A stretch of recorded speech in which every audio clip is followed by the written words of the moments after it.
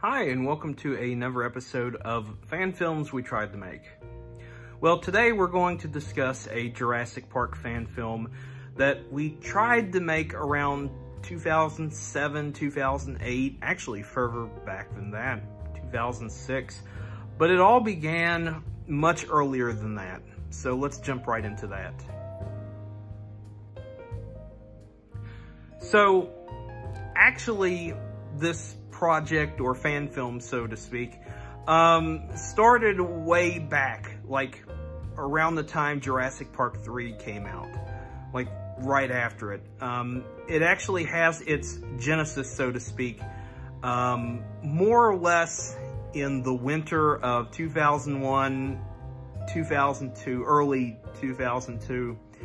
And you know, of course, we had a video camera, VHS RCA, and I would do little stop motion stuff for what I envisioned as a version of Jurassic Park 4. Of course, I had the internet around that time, and I was um, basically looking for any information I could about a Jurassic Park 4. And, you know, everyone was expecting it to be, be out by at least 2003. And then 2003 came and went, and yeah, we didn't get a Jurassic Park 4 until 2015, and it was called Jurassic World. So, basically, this project started in the summer of 2006 with a uh, neighbor friend of mine. Um, we basically started this um, more or less on notebook paper. and uh, the original uh, name of the project was uh, Jurassic Park Park 2. Kind of play on words with the whole Part 2 kind of thing.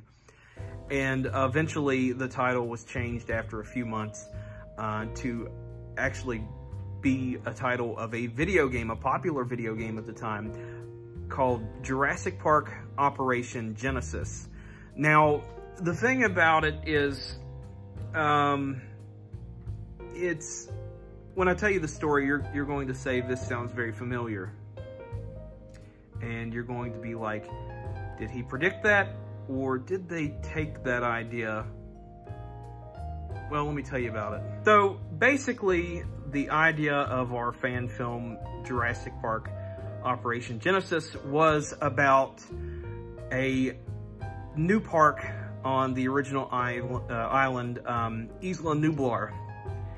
And it had basically, I mean, it was kind of a loose very loose remake of the original film in a way, and it kind of referenced the events of the previous three films um, to make them, you know, canon, I guess, or at least canon in our fan film universe. and um, basically, it had to do with a, um, a hybrid dinosaur, a um, the one, I think the one that we were using, because we were using stop motion, we weren't doing CGI or anything at the time and it was going to deal with a um, Spinosaurus, um, Carcharodontosaurus, you know, whatever you call it, T-Rex hybrid, and we was going to make our own stop motion figure and all that, and, um, you know, in the summer of 2006, it was just too daunting, so eventually we got over it.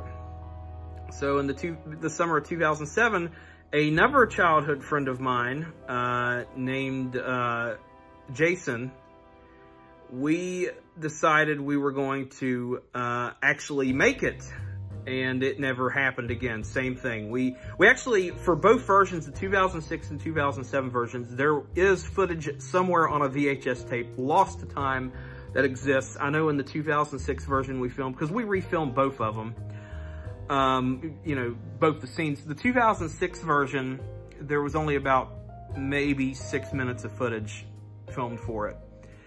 While the 2007 version, there was actually a total of about 23 minutes filmed. And it was unedited, raw footage.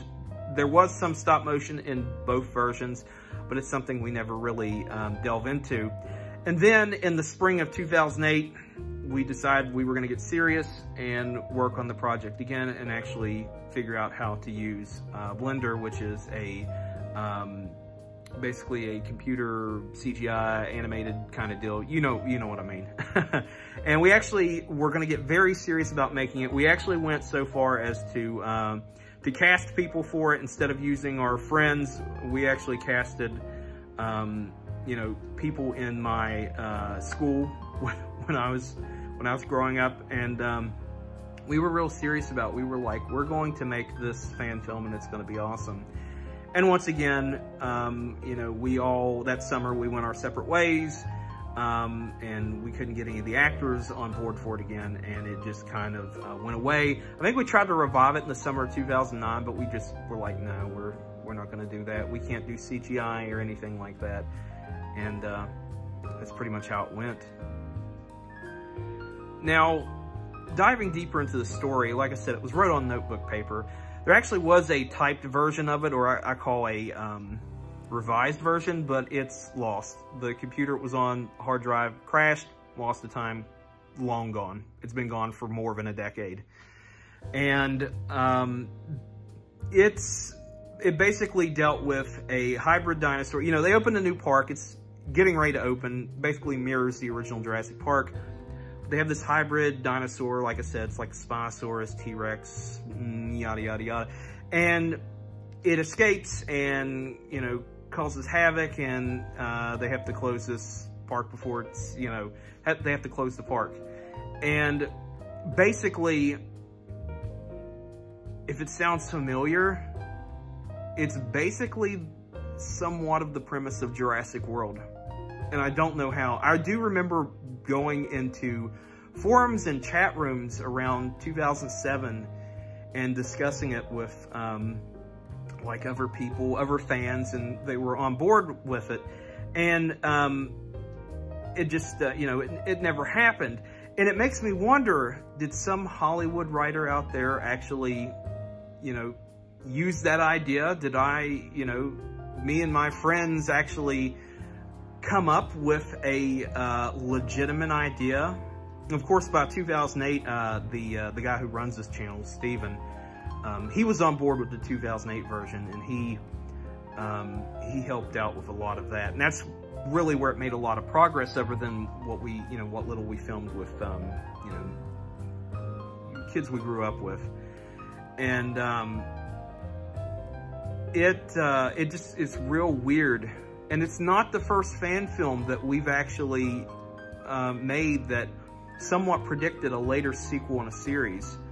Um, later in these episodes, I'm going to describe two more movies that pretty much pretty much were what we had wrote. And they were also out there on the internet in chat rooms and forums and whatnot. Of course, those chat rooms and forums are long gone. They've been gone for well over a decade.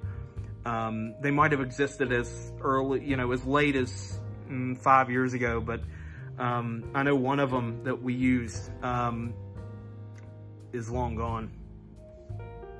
But I find it so damn interesting that an idea that I came up with as a child basically became the premise of the next like Jurassic Park, or I should say Jurassic World 2015 uh, movie.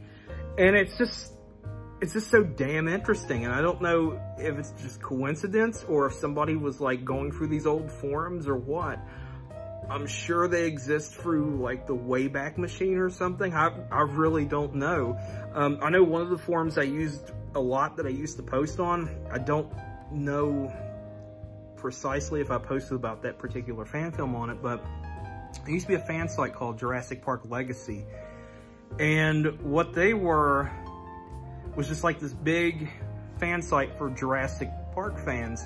And even for the, um, the uh, Telltale Jurassic Park game uh, that came out over well over a decade ago, they actually used um, the encyclopedia on uh, Jurassic Park Legacy to um, get information about the game, which I, I find that real interesting. But um, wrapping things up here, it's just so interesting that, you know, an idea like that actually came true. I, it, has got to be coincidence. Like, it's just, it's, it's got to be coincidence. But um, it's not the, not the only Jurassic Park fan film we tried to make. We actually tried to make one around 2013, which I will talk about in our next episode of fan films we tried to make.